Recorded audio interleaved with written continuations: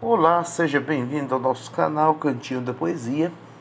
Você que me acompanha ou que já viu algum vídeo extemporaneamente, me conhece, Pedro Melo. E a poesia é, digamos assim, uma inclinação que ocorre em muitas pessoas, embora nem todas se tornem conhecidas, famosas, celebradas e possam publicar os seus livros. Muitas vezes pessoas humildes também acabam fazendo poesia, pessoas simples e que escrevem do fundo da sua sensibilidade, fruto de sua experiência diante da vida.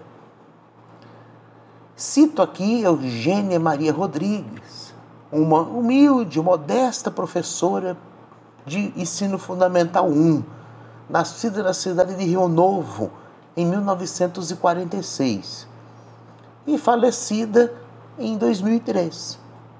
Eugênia Maria Rodrigues, não tenho biografia da autora, sei apenas que ela era de Rio Novo, né, estado de Minas Gerais, e que fazia trovas. Não tenho nenhum dado sobre ela, mas deixou muitas trovas e vejam que beleza de trovas. Eugênia Maria Rodrigues. Meu coração sofreu tanto, no amor foi tão explorado, que há um aviso em cada canto: garimpo desativado. Rugas não são desenganos, pois não me causa desgosto a viagem onde os anos fazem turismo em meu rosto. E uma das suas melhores composições. Partiste sem um aceno, multiplicando os meus ais. Não quis teu mundo pequeno, meu sonho grande demais. Eugênia Maria Rodrigues. Seus versos ficaram.